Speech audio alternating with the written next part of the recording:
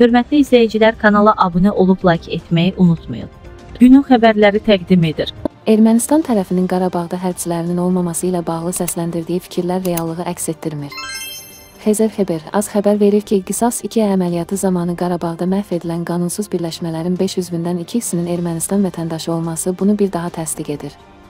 Elçin Mirzəbəyli bildirib ki, Qarabağdakı qanunsuz silahlı birləşmələr özünü Ermənistan tərəfindən ayrılan vəsait hesabına saxlayır. Azərbaycan öz ərazilərində işğalçı statusu daşıyan qüvvələrin qalmasını qəbul etməyəcək. Əgər yeni təxribatlar baş verərsə, daha sərt addımlar atılacaq.